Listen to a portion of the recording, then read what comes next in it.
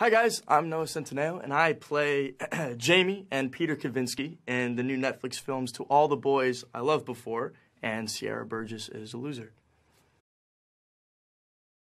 Hmm. Both of them. Jamey's was red, and Peter's was like a gray. Uh, Jamey.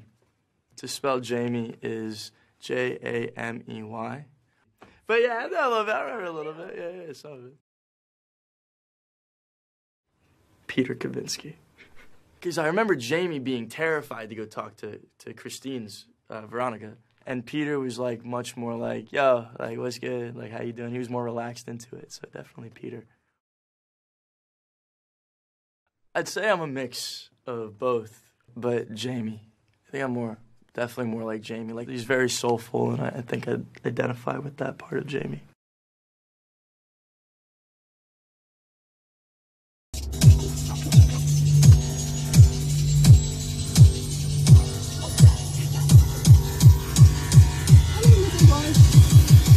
Sleepy man coming.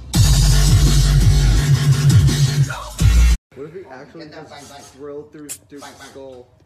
要追いか。